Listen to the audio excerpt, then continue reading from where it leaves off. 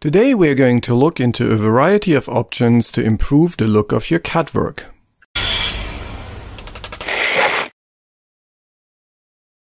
Sometimes the grey look of the plain CAD model is all you need to get going. But sometimes your spouse, your client, or someone else who is finally going to buy or use a piece would like to get a better impression of it. There are a few limited options within FreeCAD to get a better impression of a piece. Sometimes it is good enough to just give individual parts a slightly different color. While this is not perfect, you can get an idea how darker and lighter woods would be combined on a workpiece. FreeCAD also supports texture mapping.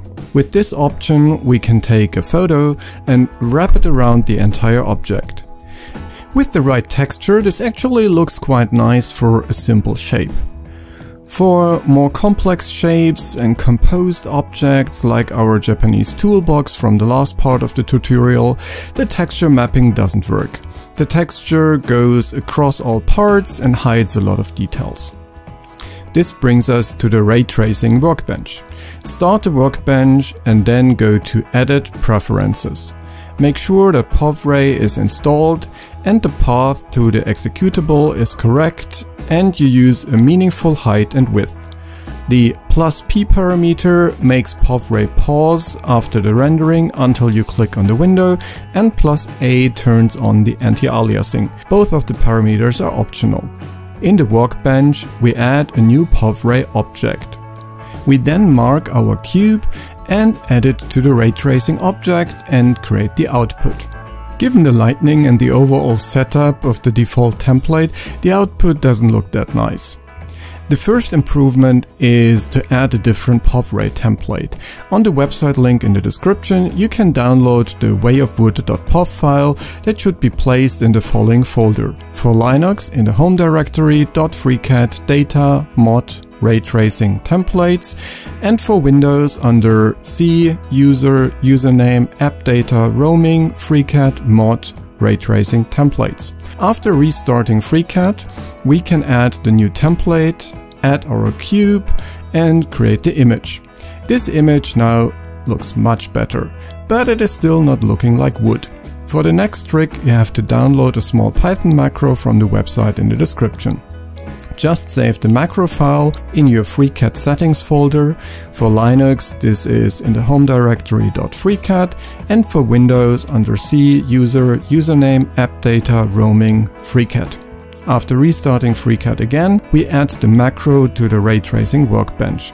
Go to Tools, Customize Macros and select the macro we just added. After selecting a nice icon, we are done in this tab. In the Toolbars tab, select Macros on the left hand side and Ray Tracing on the right hand side. Then create a new group and add the macro to this group with the blue arrow.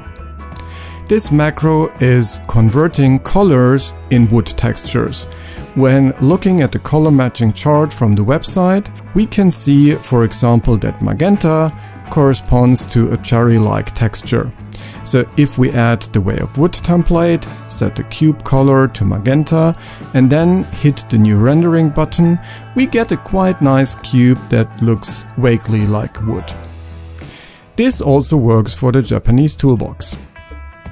When you have everything set up the right way, creating such a rendering is literally a click of a button. If this is still not good enough, we have to leave FreeCAD. After exporting the toolbox as OBJ file, we can open it in Blender. In Blender, only the sky is the limit. You can create three-dimensional textures, animations and become quite creative when it comes to the rendering of your file. Hopefully this video was helpful for you. Please leave a comment if there are other FreeCAD topics you would like to be covered in a future video and don't forget to subscribe for more videos on different ways of woodworking.